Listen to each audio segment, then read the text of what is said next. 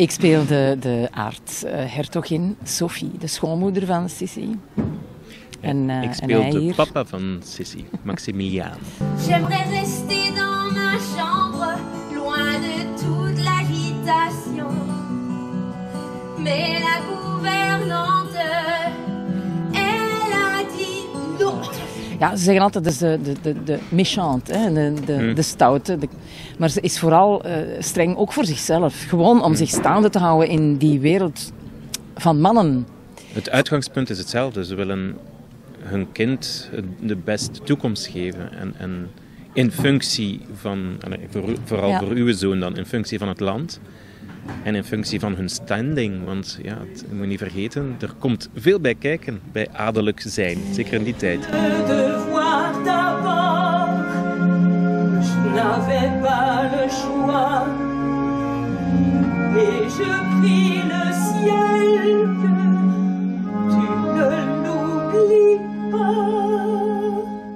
Ik speel ehm, Esther Hatsi en vrouw Wolf. En jij, Floris?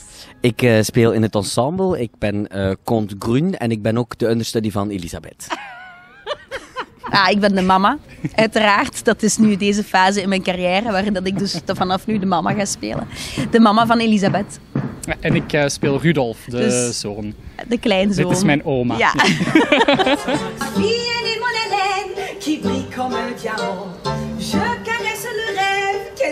quelques rangs. Elle n'a pas vu la nôtre. À croire que c'est la seule.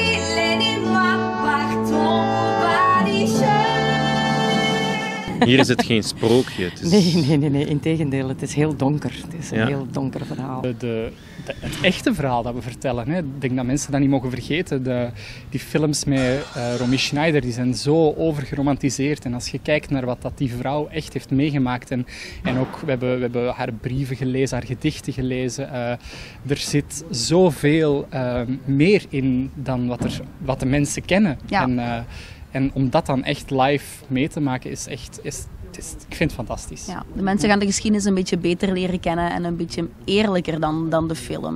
Si j'étais ton miroir, tu te verrais comme tu me vois. Alors tu comprendrais ce qui se cache au fond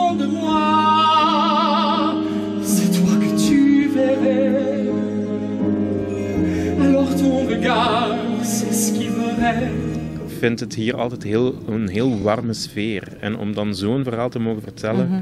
hier in die open lucht, want dat geeft ook iets speciaals. Met de warme sfeer dat er altijd heerst bij Bruxelles, dat is toch iets bijzonders. Ja.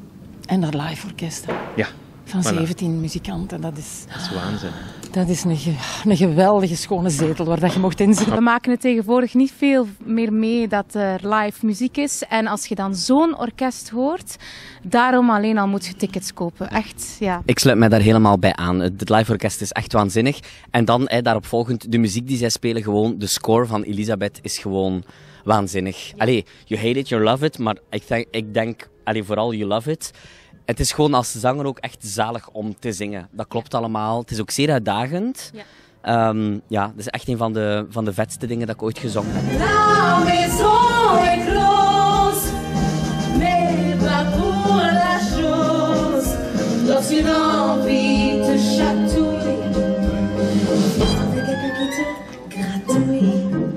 zijn gezegend met Laure, die zeer Ach. muzikaal is en, en Ja. zeer goed aanvoelt wat wij doen. Hè. Dus dat is, dat is heel fijn. En ook zangeres is. Dus Ja. Zich heel goed kan verplaatsen in, in ons allemaal. Het is een zeer moeilijke score, vol uitdaging voor iedereen, zowel qua tempi als qua moeilijkheidsgraad technisch. Trompet heeft een aardsmoeilijke solo bijvoorbeeld. Eh, en zo is er voor elk instrument wel een grote uitdaging, dus je moet echt wel hele goeie- goede muzikanten hebben die nog een goed idee hebben van kamermuziek, naar elkaar kunnen luisteren, op elkaar inspelen. Dus dat is een groot deel van het gegeven. Ik heb gelukkig eh, allemaal topmuzikanten bij mij, dus eh, het is zeer gezellig. Ik vind het fantastisch dat we nog eens een musical doen. Een grote musical, een grote zangmusical. Met heel veel kostuums, een live orkest. ehm, een prachtige score. Ik zeg, het is, het is een, een eer echt om dit te mogen zingen en, en dit verhaal te brengen. Ehm, dus ja, ik denk dat we dit niet rap gaan vergeten.